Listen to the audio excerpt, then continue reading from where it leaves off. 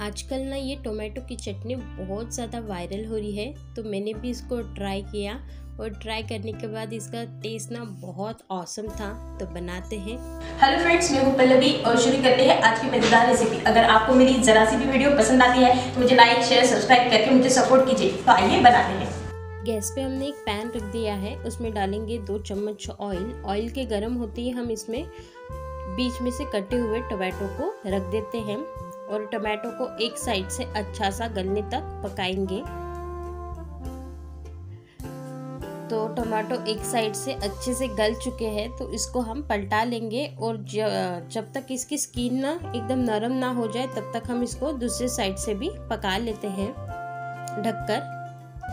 तो यहाँ पे देख सकते हैं, मैं इसको फिर से पलट रही हूँ तो अभी दूसरे साइड से भी हम इसको अच्छा सा काला सा पन्ने आ जाए ना उस पर, तब तक हम इसको पकाएँगे ढककर। ताकि जो स्किन है ना, वो अच्छे से मतलब इजीली निकल जाए। तो ये दूसरे साइड से भी अच्छे से पक गए हैं तो अभी हम गैस को कर देंगे बंद। और टोमेटो को ठंडा हो जाने देंगे तो टोमेटो ठंडे हो चुके हैं। तो इसके ऊपर का जो छिलटा है, उसको हम निकाल कर साइड में रख देते हैं। तो सारे टोमेटो के छिलटों को हम उतार लेंगे। और इसे अभी हम एक बाउल में डाल देते हैं।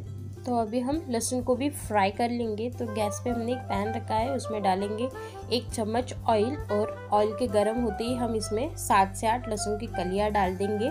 और लहसुन की कलिया का कलर जब तक ब्राउन ना हो जाए, तब तक हम इसको पकाएँगे ऑयल में तो ये यहाँ पे ब्राउन हो चुकी है। तो ये लहसुन की कलियाँ अभी हम इस टोमेटो के ऊपर डाल देते हैं और इसको बढ़िया तरीके से मैशर से मैश कर लेंगे।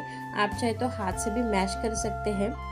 तो मैश होने के बाद हम इसमें डाल देंगे बारीक कटी हुई हरी मिर्च, एक चम्मच लाल मिर्च पाउडर और बारीक कटे हुए प्याज और एक चम्मच नींबू का रस।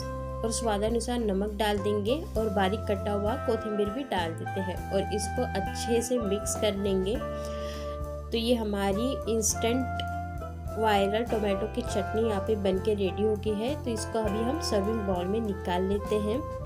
तो इसको आप एंजॉय कर सकते हैं चपाती के साथ या तो फिर कोई स्टार्टर है उसके साथ भी इसको एंजॉय कर सकते हैं। तो फिर से मिलूँगी नई रेसिपी के साथ। तब तक के लिए बाय बाय